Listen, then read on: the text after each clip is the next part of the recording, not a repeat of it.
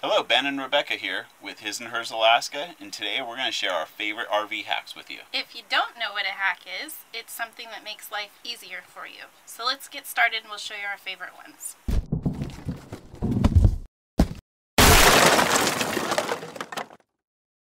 We're going to get things started up here in the front of the motorhome. We pulled out the old style TV that took up all this space, and we were very pleasantly surprised by a uh, 12 volt cigarette lighter outlet and there's also a regular old plug-in back there. Some people with woodworking talents could make something uh, really cool here, but we store our Yeti power inverter box and a catch-all basket. And down here, we have our Wilson signal booster. What this does is it boosts our cell phone signals so we're able to camp further out into the middle of nowhere. You might be wondering what we use since we got rid of the old boob tube.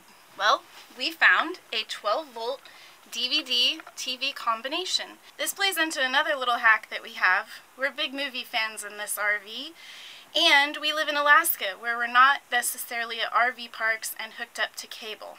So we take a lot of DVDs with us and we have two of these DVD cases to keep our collection. Since we're talking about 12 volt TVs, we've gotten to be big fans of 12 volts. And in order to be able to utilize all of those things, we have to have places to plug them in. The TV here gets plugged into the dash. We also installed two outlets up above the fans for our cameras. Ben was also really nice and put one on on the passenger side for me so I can plug my devices in when we're driving. We also installed one in the kitchen. It's a two port as well. We have a 12 volt crock pot and the next thing on my wish list is a 12 volt blender so I can make my smoothies in the morning. Last place that we installed additional 12 volts is on each side of our bed. So we have his and her plug-ins. And it really was nice because prior to this we'd have to plug our phones and tablets and stuff like that into the front up by the dash and we couldn't use it for alarm clocks or look at it when we laid in bed at night. One of the things that used to drive me crazy when we were riding as the navigator was that I'd have a map out here, a tablet with Google Maps, my phone, my computer for work, the list goes on. And this stuff was just everywhere on my side of the dash. We found these matching baskets and I'll show you the other ones throughout the rest of the RV, but this one stays up here on the dash. We put something to make it so it doesn't slide underneath. And we can store all of the things that we need when we're driving, like navigation type tools up here and keep it nice and neat. Since it's just the two of us in the RV, we had a lot of wasted space on the settees and the back corners. So I found these two baskets. One we usually store food type items in, and the other one we store paperwork type stuff in keeps everything in place and it doesn't shift around while we're driving. The last place that we use one of these baskets is here in the corner of our kitchen. This was terribly wasted space because everything would roll around if we put stuff back there. But now we can put fruits and other produce and we can also store bread back here. The more you drive down the road in one of these things, the more you realize you need spaces that contain items. We take vitamins, and so we did find this little basket from one of the major box stores. We velcroed it to our settee table so that it won't slide, and we're able to store all of our vitamins in here. I have a similar basket on my bedside table for books and lotion and my Kindle. I'm not sure you'd necessarily call this a hack. It's something you find in almost every kitchen, but our RV didn't come with one from the factory, and there was an ugly plastic one in here when we bought it. So we replaced it with a pretty paper towel holder. Our next hack solves the problem of what to do with all these damn shoes. So we went into a box store and we found a regular old uh, coat hook rack. It works great and fortunately there was wood inside of this couch that I was able to drill holes into and secure this.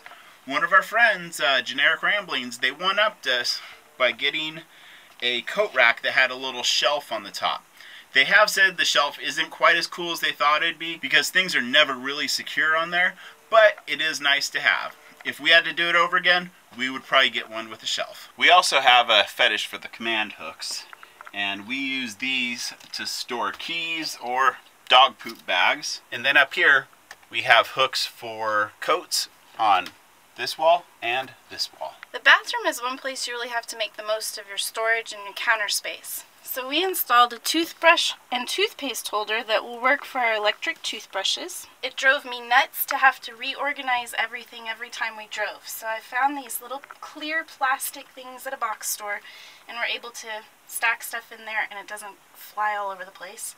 We also were able to keep Q-tips, face wipes, and dental floss in these little cups and not have the entire package out here in the medicine cabinet. Moving on into the shower and uh, enclosed bathroom of our motorhome, we decided to upgrade our shower curtain rod. This is awesome. So you ever go to a hotel and they got that curved shower curtain rod and it just feels like you have so much elbow room in there?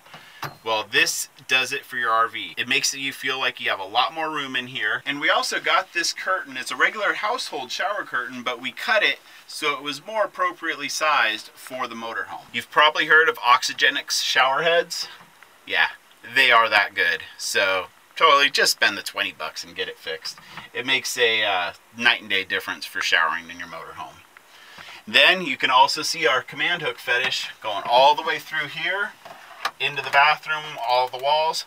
What this does is it's great for drying swimsuits and uh, stuff like that after you've been out playing in the water. Moving into the bedroom, we got rid of that cheesy accordion style room divider and got a regular curtain panel and trimmed it up a little so it fit the uh, space here and it's a regular old rod from a box store and we have a more decorative, nicer looking room divider.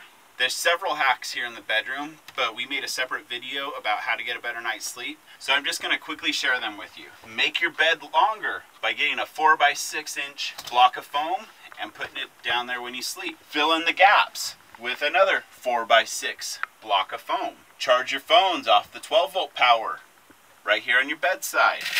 Don't lose your remote to your 12 volt TV DVD player. So from a girl's perspective, you need places to store stuff and there's not always enough room in RV cabinets. So we installed a two drawer little plastic cabinet and a basket that I mentioned earlier for all of my nightstand type stuff and I keep my makeup and jewelry and stuff like that in the little drawers. The question every girl has to answer where to put your shoes. So I was able to find this at Camping World and hang it under a bed.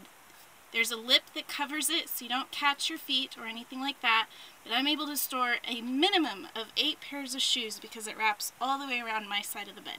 We hope these RV hacks help you get a little more comfortable and make life a little bit easier in your coach. Thanks for watching. Be sure to subscribe to our channel and follow our adventures.